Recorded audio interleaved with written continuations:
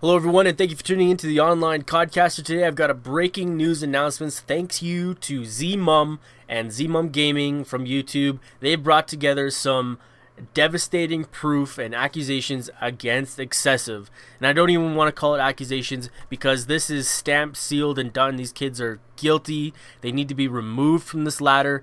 And anytime you're cheating kids and other people out of a chance to win at a million dollar tournament, there needs to be an example set. These guys need to be removed from Xbox because this is awful. And what I'm about to show you came and was shown in a last night's match at 3:50 a.m. And here we are. We got excessive playing ZMum, and here he is at the start of the round 4v4. All is well, all is good until they start to lose and their teammate leaves. So now, or teammate left, or whatever happened, they don't know. So all of a sudden, Stormy starts sitting in the corner. You know, fairly odd thing to do when you're losing and you're in eighth place. Why would you be doing that? Well, what he's doing right now is he's gathering IP addresses on his computer. And he's doing this so he can host boot kids out of the game.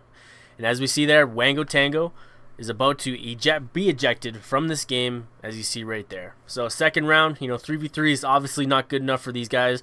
Excessive needs to make a point, and obviously they're having challenge or issues and challenges winning, you know, any sort of real game. So they got to resort to this stuff, cheating and host booting.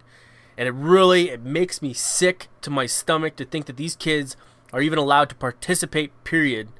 And we need to make an example of them, like I said. So there's to be a click to tweet option in the video below in the description. You need to click that out. We need to share this video with as many people as possible and get this out there and get these kids kicked off Xbox forever.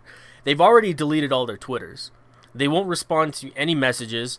And I think I'm, I'm pretty sure they're to be changing their gamer tags because this is not going anywhere quickly. It's to haunt them for the rest of Black Ops 2. At least I hope so, if they're even allowed on Black Ops 2 anymore.